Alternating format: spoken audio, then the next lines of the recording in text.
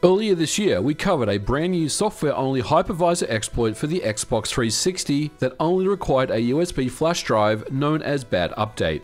This was a hypervisor exploit that opened up the console for unsigned code execution, which means access to homebrew, emulators, region-free games, custom dashboards, and access to the hacked OG Xbox emulation layer.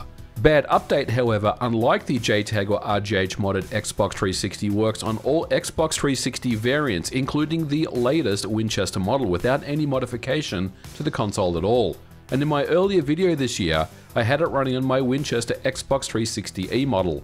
However, the reliability of the exploit was around 30%. Many people were unable to run the exploit as it involved rerunning the exploit until it worked. And because the exploit itself is based on a race condition, it can take anywhere from 5 to 20 minutes to run successfully. Patience was definitely required and honestly, a hardware modded RGH or JTAG 360 was still very much preferred. And it seemed like Bad Update would never see any meaningful updates as the Stage 3 bootloader speed would not be possible to be improved. However, everything has changed just in the last few days, with a brand new 1.2 release of Bad Update that not only improves the reliability of the exploit from 30% to a staggering 80%, it triggers the exploit much faster, usually only running in less than a minute and in some of my tests, it can trigger in a matter of seconds. This is quite incredible. Now let's take a look at some real world tests. For reference, if we go back to our March 2025 video, the successfully triggered exploit that I captured on camera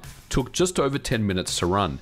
Now, of course, this footage didn't show the amount of failures and reboots and reattempts that I had to make to get this point across. And also, if you notice here, the footage is sped up significantly by a factor of 2000 times in order to kind of show how long this exploit takes to run. Bad Update wasn't really more of a proof of concept or at least a tool that you could use to extract your CPU and DVD keys without modification. Now let's take a look at some real world Bad Update 1.2 tests that are all captured with my camera pointing at the screen directly with no edits. Now of course I am speeding up the footage just to keep this video moving along, but the first attempt ran successfully in just 33 seconds from start to finish.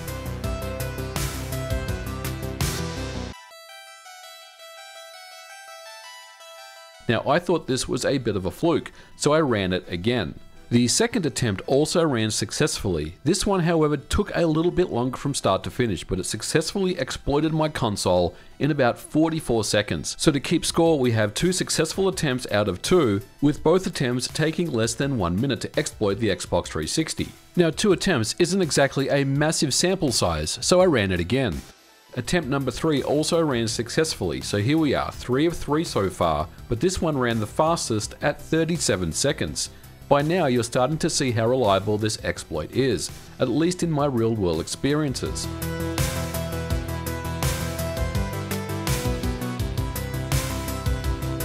Attempt 4 also ran successfully, but this one was slower than the others. Now when I say slower, it was still nothing compared to what it used to be.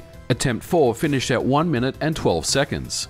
Still a magnitude of 10 times faster than the 1.0 bad update. In fact, Every single attempt that I ran, which was a total of 10, all completed successfully. Now I personally did not have a single failure where I had to turn off the Xbox 360 and retry. However, it's unfair to say that this exploit is 100% reliable just because it was for me. The community has been running many tests and there are still scenarios where the Xbox 360 may crash. However, things are so much better now with the 1.2 revision of Bad Update. It's quite remarkable. The fastest exploit I saw took just 7 seconds to run, and I couldn't believe my eyes. On average, however, for me, we're looking at around 50 seconds for the exploit to complete successfully. Once again, using Rock Band Blitz Trial won't cost you anything and is the preferred way to run the exploit. Not only does it cost you nothing, you can easily put it on a USB stick, but it's also the preferred way to run the exploit as the background pattern is a good indicator that the exploit is continuing to run. If it stops scrolling or if it freezes, it indicates that the Xbox 360 has frozen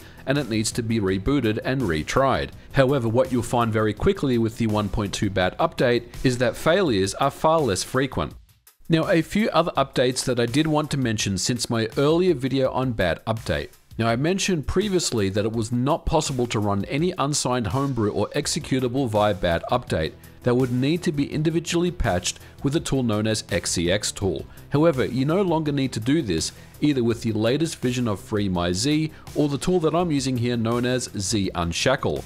This is the app that runs immediately after the bad update stage 3 loader has completed successfully and applies the very same kernel and hypervisor patches that you would find on any RGH or JTAG modded Xbox 360. What this means is you no longer need to patch any .xex files manually, which allows a custom dashboard like Aurora and its homebrew store to be much more useful with the bad update modded Xbox 360.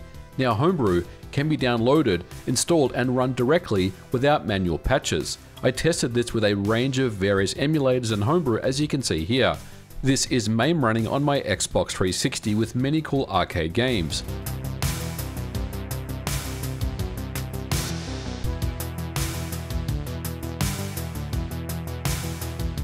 This also means that original Xbox or OG Xbox games can boot and run without requiring any executable to run first in order to enable that functionality. Once again, Z Unshackle has these patches built in, so it really means that bad Update 1.2 and Aurora is much closer to that of a RGH and JTAG system, and all of a sudden has become a very desirable thing. While there is some additional hoops that you still have to jump through to exploit your Xbox 360, it means that it opens up the exploit to a larger range of users that were potentially too afraid to open up their Xbox 360 and mod it themselves or pay the money for a hardware modder to do it for them.